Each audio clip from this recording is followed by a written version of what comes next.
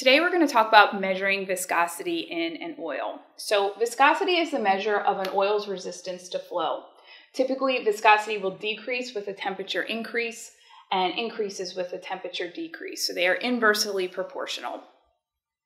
One of the important things to know about viscosity is there are really two types of measurements. So you can have an absolute viscosity measurement and you can have a kinematic viscosity measurement. And an important distinction between those has to do with the density of the fluid. So in using absolute viscosity, you will get a result in centipoise. And typically with rotational viscometers, you will get that reading out in centipoise. More commonly in oil analysis labs, they're going to be running a kinematic viscosity. That is reported out in centistokes and is using gravity to measure the viscosity. An easy way to do a conversion between centipoise and centistokes is take the dynamic viscosity divided by the density uh, to get the kinematic viscosity. But that's an important distinction to know and making sure that you're trending using the right measurements. So there are some key factors to consider when choosing the right viscosity for your equipment.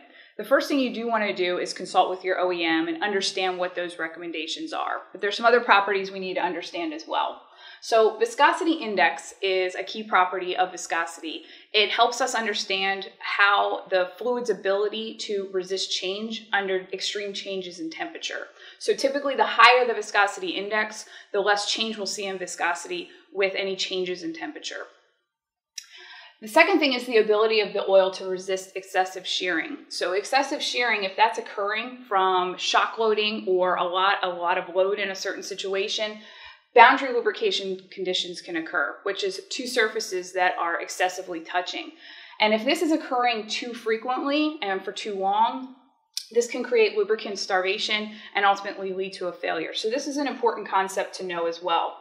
And then also considering the speed, load, and temperature of the uh, lubricated equipment is very important in calculating the right viscosity recommendations. And then finally, grease versus oil and understanding when grease is appropriate and when oil is appropriate for certain situations. So typically with grease, we have low speeds and high loads that where grease is recommended, and in oil we have higher speeds and higher temperatures, which uh, oil would be more appropriate. So how do we go about setting alarm limits for viscosity?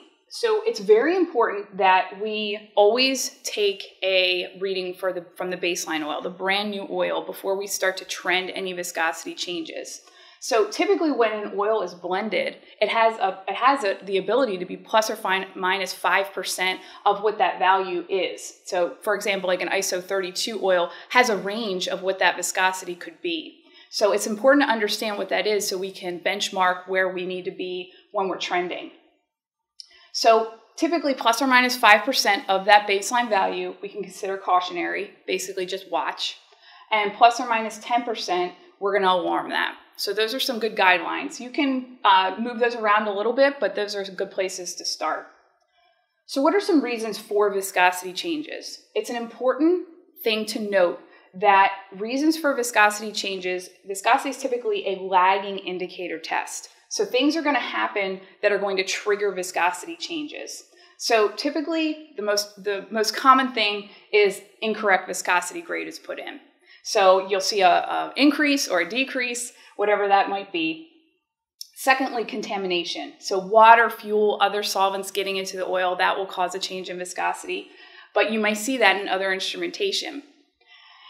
And then loss or shear of VI improvers can change can cause changes in viscosity. And finally, oxidation of the oil. So typically you'll see a, a viscosity increase when the oil starts to oxidize.